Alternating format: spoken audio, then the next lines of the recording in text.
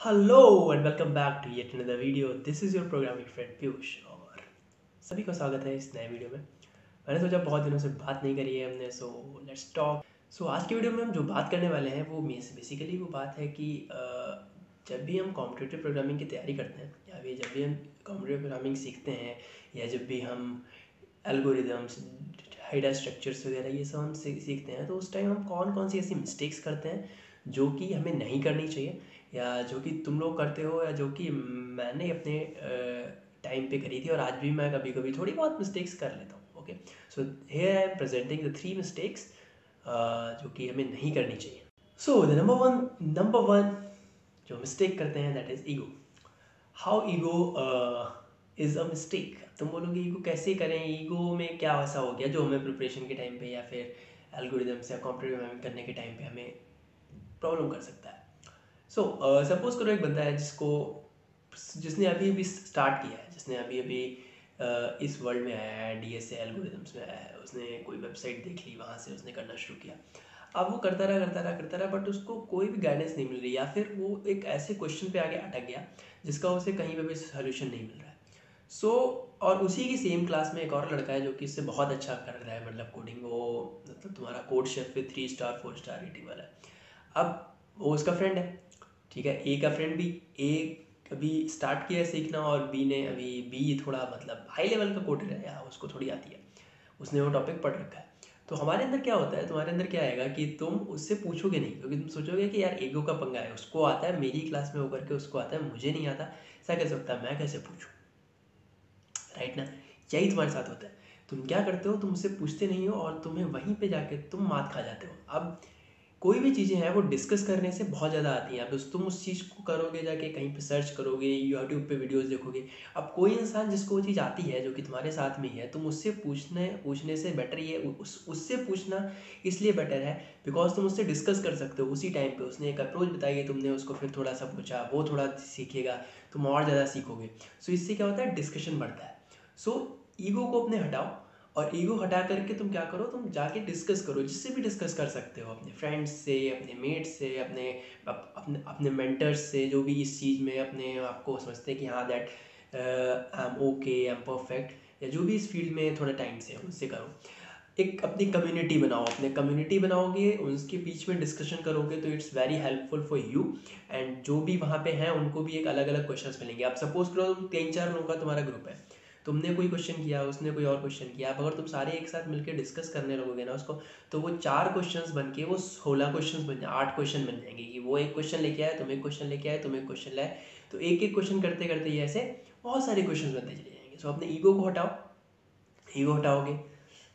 It's quite good कि discussion करोगे तो उसमें थोड़ी सी अप्रोच ज़्यादा मिलेंगी, कोई टॉपिक उसने पढ़ रखा है, तुमने नहीं पढ़ा तो वो चीज़ ईजी हो जाती है। So this is number one number two number two is practice practice practice and practice हमेशा कहता हूँ, अपने हर एक लेक्चर में मैं if you are following me on Instagram then Instagram पे भी मैं हमेशा कोड डालता हूँ that practice practice practice so अगर तुमने कोई क्वेश्चन किया सपोज़ करो तुमने एक टॉपिक उठा लिया लिंक लिस्ट अब तुमने लिंक लिस्ट के पंद्रह क्वेश्चन कर लिए, ठीक है? तुमने बोला, मैंने पाँच पाँच पाँच पाँच ईजी पाँच मीडियम पाँच हार्ड के मैंने क्वेश्चन उसमें कर लिए अब तुम क्या करोगे? तुमने लिंक लिस्ट पंद्रह क्वेश्चन कर लिया, अब तुमने बोल दिया कि लिंक लिस्ट मुझे बहुत अच्छी आती है। रख दिया तुमने उसको। अगला कहाँ पहुँच गया? ट्री पे पहुँच गया, ग्राफ पे पहुँच गया, जिधर गए अब तुम उसके चक्कर में तुमने लिंक लिस्ट छोड़ दिया। तुम पीछे की दिन छोड़ते जा रहे हो और तुम आगे पढ़ते चले जा रहे हो। फिर तुम्हें जब ट्री और ग्राफ जब कर लोगे, ट्री और ग्राफ सपोज़ करो ट्री कर लिया, अब उसके पास तुम्हारे पास कहीं तुमने कोई मतलब कोई तुमने हैकर रैंक खोल लिया, वहाँ पे लिंक लिस्ट का क्वेश्चन आ गया। अब तुम भूल गए। तुम भूल गए ये चीज़, तुम क्योंकि तुमने वो चीज़ पढ़ी थी कब? बहुत दिन पहले, ठीक है? लिंक, क्योंकि ग्राफ और ट्री करने में एक दो हफ़्ते लगेगा तो लिंक लिस्ट, एरे, स्टैक, ये सब तुम हो गया तुम्हारा ठीक है? सो so, अब तुम्हें यही नहीं पता कि लिंक लिस्ट कैसे उसमें इम्प्लीमेंट करेंगे क्या उसमें कॉन्सेप्ट होते हैं। सो so, इस चीज़ को करने के बजाय तुम क्या करो डेली कुछ ना कुछ क्वेश्चंस करते रहो। डेली तुम थोड़े थोड़े क्वेश्चंस उठाओ क्वेश्चन करो या एक एक दो दो दिन बाद जैसे लिंक लिस्ट तुमने तीन दिन पहले करी है फिर कर लो दो दो दिन के गैप पे कर लो। सो ये एक चीज़ तुम्हें उस चीज़ से तुम्हें अटैच भी रखेगा और अगर तुम उस चीज़ से अटैच हो तो फिर तुम्हें अगर कभी भी एक क्वेश्चन आगे मिलते हैं ना तो फिर तुम ईजिली कर सकते हो।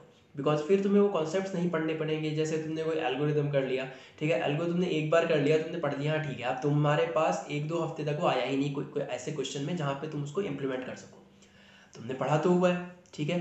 सो so, मैं एक एग्ज़ाम्पल लेके चल रहा हूँ। हो सकता है तुम ना, बोलो यू आर जीनियस सो मैं कुछ नहीं कर सकता। ठीक है? सो so, ऐसा होता है मेरे साथ भी ऐसा बहुत बार होता था। सो so, इस चीज़ को अवॉइड करने के लिए प्रैक्टिस करो डेली करो डेली कुछ ना कुछ मिसलिनियस क्वेश्चन उठाओ और वो करते रहो। ठीक है? तो this is the number two number three the most important is the give up हम हमेशा कुछ टाइम बाद गिव अप कर देते हैं। मुझे बहुत सारे लोगों ने मेरे से एक मेरे फ्रेंड ने क्वेश्चन पूछा था दैट हाँ मैंने अपना एंड्रॉयड का कोर्स भी कर रखा है, मैंने एंड्रॉयड कोर्स भी परचेज़ कर रखा है, मैंने ये भी परचेज़ कर रहा है, ये भी परचेज़ कर रखा है। बट मैं जब कुछ करने चलता हूँ, मैं एक दो वीडियोस देख करके, ठीक है? एक दो वीडियोस देख करके हम क्या करते हैं, उसको छोड़ देते हैं। ओके मेरे साथ भी यही होता है तो अपना एग्ज़ाम्पल लेके चल रहा हूँ। मैंने भी बहुत सारी चीज़ें ऐसी सोची कि मैं ये सीखूँगा। उसको तीन चार वीडियोज़ मैंने देखे, फिर मेरा मन ही नहीं किया। मैंने कहा, यार, नहीं, ये नहीं होगा। क्योंकि उसमें कुछ मेरे को मज़ा नहीं आ रहा था। ठीक है? यही चीज़ हम हमेशा हर हर एक जगह पे करते हैं। अगर तुम्हें अरे समझ नहीं आ रहा है तो तुम क्या करोगे? तुम छोड़ दोगे कर दोगे कॉपरेट प्रॉब्लम नहीं हो रही।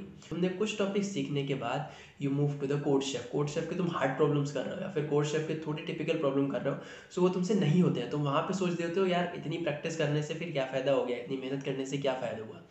सो इस चीज़ को छोड़ने से बजाय तुम उस चीज़ में घुस जाओ। उसको उसको, उसकी जड़ तक पढ़ लो कि जब तक वो नहीं होगा यार, कैसे नहीं होगा? एक क्वेश्चन है, उसका कोई ना कोई सोल्यूशन तो होगा। अगर कोई एक बंदा निकाल रहा है, ठीक है, उसका सोल्यूशन तो दूसरा तो निकाल ही लेगा ना। अगर तुमने गिव अप कर दिया तो उसी जगह तुम्हारी हार हो जाए क्योंकि कि अगर कोई चीज़ सीखने चलते हो, तुमने कोई भी नई चीज़ सीखी होगी, उसमें बहुत सारी स्टार्टिंग में दिक्कतें आती हैं। स्टार्टिंग में दिक्कत आने के बाद फिर वो धीरे धीरे धीरे धीरे करके जब तुम उसमें थोड़ा सा सीखने लगते हो तो वो बेटर बन जाती है। इसलिए नेवर गिव अप एटीट्यूड रखो अपना ठीक है? So this is the number three last but not the least कोई भी क्वेश्चन करने से पहले either you are doing in CodeChef, either you are doing in HackerRank और you are doing in HackerEarth LeetCode कहीं पे भी कर रहे हो। हम क्या करते हैं हम अपनी स्टार्स बढ़ाने के चक्कर में अपनी रैंकिंग बढ़ाने के चक्कर में हम उसके सोल्यूशन एक दो मिनट हमने चेक किया हमसे नहीं हुआ फिर हम क्या करते हैं कि उसको ऑनलाइन चेक करते हैं कि क्या इसका आंसर कहीं दिख रहा है मुझे और मेनली क्या होता है कि डिस्कशन फोरम में हैकर रैंक का डिस्कशन फोरम है ना? हैकर रैंक की मैं बात करूँ हैकर रैंक के डिस्कशन फोरम पे हर कोई डाल देता है आंसर तो उस पर तुम्हें आसानी से मिल जाता है। और हम क्या करते हैं? कॉपी किया पेस्ट किया क्वेश्चन हो गया, हमें उसमें मिल गया गोल्ड बैच यार ओके अब तुमने गोल्ड बैच तो ले लिया, अब जो दूसरा बंदा देखेगा, वो कहेगा कि तुम्हारे पास गोल्ड बैच है इट मीन्स तुम्हें आता है। अगर तुमने प्रॉब्लम सॉल्विंग स्किल्स में हैकर रैंक की बात करो, क्योंकि बहुत सारे लोग हैकर रैंक पे करते हैं प्रॉब्लम सॉल्विंग स्किल्स में अगर तुमने हैकर रैंक पे गोल्ड बैच ले लिया तो सब तुम्हें यही सोचेंगे हाँ कि गोल्ड बैच तक ले लिया है मतलब इसके सारे एस के कॉन्सेप्ट इसके क्लियर है मतलब इसको सब कुछ आता है बट उसके पीछे का सीन क्या है? तुमने क्या किया है? तुमने डिस्कशन से या फिर कहीं से कोड कॉपी पेस्ट कर लिया तुमने उस पर अप्रोच ही नहीं लगाया, ठीक है? जैसे कोड सेफ़ के जो ये दिसंबर चैलेंज नवंबर चैलेंज होते हैं, उसमें बहुत लोग क्या करते हैं? एंड में करते हैं। मतलब कि जब दो तीन दिन बचते हो कि तब तक इंटरनेट पे क्वेश्चंस आ जाते हैं। हमारे बहुत सारे लोग उसके अप्रोचेस डाल देते हैं। सो वो उनके लिए ईजी रहता है। कहते हैं, दो मिनट मैंने पढ़ा, नहीं आया, समझ आया। चलो अप्रोच देखते हैं क्वेश्चन करो और अपनी रेटिंग्स बना लो। सो इससे कोई फ़ायदा नहीं है। तुम अपने आप को ही बोल रहे हो झूठ। और ऐसा करते हो तो ऐसा मत करना बिकॉज़ आगे जाके तुम्हें दिक्कत करेगा। Okay okay so these are the four things जो कि तुम्हें अपने कैरियर में, अपने स्किल्स के जब भी तुम सीख रहे हो, अपने चार साल के कॉलेज के टाइम पे, या कोई भी स्किल सीखने के टाइम ये मत करना बिकॉज़ अपने से अगर झूठ बोलोगे तो फिर बहुत चीज़ें दिक्कत हो जाएगी ओके सो आई होप तुम्हें आज का वीडियो पसंद आया होगा। अगर पसंद आया, अगर तुम एग्री करते हो मेरी बात से तो कमेंट में ज़रूर बताना कि you agree or not so मिलते हैं फिर किसी वीडियो में। Till then good bye tata take care happy coding bye